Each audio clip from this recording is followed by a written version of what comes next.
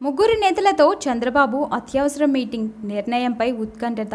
ఈ వార్త వెనుకున్న ఆసక్తికరమైన పరిస్థితులు ఏమై ఉంటాయి? ముగ్గురు నేతలు ఎవరై ఉంటారు? అంత అత్యవసరంగా మీటింగ్ జరగవలసిన పరిస్థితి ఎందుకు వచ్చింది అసలు టీడీపీలో ఏం జరుగుతోంది?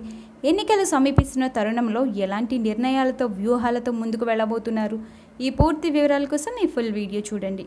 పశ్చిమ గోదావరి జిల్లాలో కీలకమైన తాడేపల్లిగూడెం నియోజకవర్గంపై ముఖ్యమంత్రి చంద్రబాబు దృష్టి సారించారు. అసెంబ్లీ అభ్యర్థిత్వాన్ని జడ్పీ చైర్మన్ ముల్లపూడి బాపిరాజు సమన్వయకర్త ఈలి నాని మున్సిపల్ చైర్మన్ బొల్లిశెట్టి శ్రీనివాస్ ఆశిస్తున్నారు. ముగ్గురు నాయకులు కూడా తమ ఆకాంక్షను నేరుగా సీఎం చంద్రబాబు ముందుంచారు.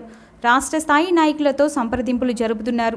సీఎంపై ఒత్తిడి పెంచుతున్నారు. చాప కింద నీరులా తమ ప్రయత్నాలు సాగిస్తున్నారు.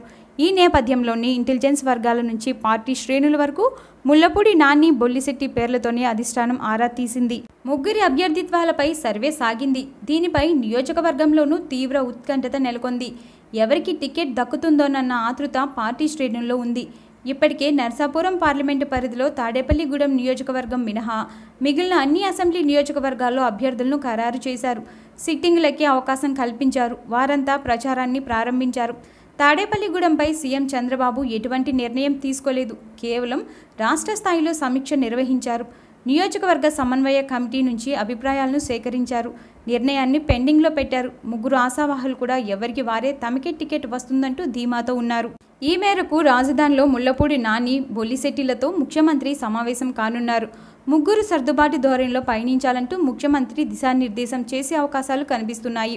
తాడేపల్లిగూడెం నియోజకవర్గంలో సామాజిక సమీకరణలు కీలక పాత్ర వహిస్తుండటంతో ముఖ్యమంత్రి చంద్రబాబు ఎటువంటి నిర్ణయం తీసుకుంటారనే దానిపై ఇప్పుడంతా ఆసక్తిగా ఎదురుచూస్తున్నారు.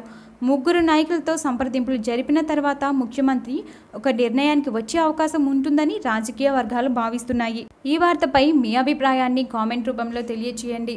యూట్యూబ్లో అనేక ఛానల్స్ ఉన్నాయి కానీ ఇంతగా పొలిటికల్ అప్డేట్లను అనాలిసిస్లను టైంకి మీకు అందించే ఛానల్ మనది మాత్రమే. అస్సలు మిస్ అవ్వకుండా సబ్స్క్రైబ్ బటన్ని నొక్కండి. ఈ వీడియో అనే కాదు మన ఛానల్లో ఏ వీడియో బాగుంది అనిపించినా మీలాగా పొలిటికల్గా నాలెడ్జ్ ఉన్న వాళ్ళతో షేర్ చేసుకోండి. షేర్ బటన్ నొక్కి వెంటనే షేర్ చేసేయండి. మీరు కామెంట్లో ఇచ్చే అభిప్రాయంతో మీరు సపోర్ట్ చేసే పార్టీకి మీరు సపోర్ట్ చేసే నాయకుడికి గొప్ప సేవ చేస్తున్నట్టే. అందుకే లైక్ కామెంట్లు అస్సలు మర్చిపోకండి.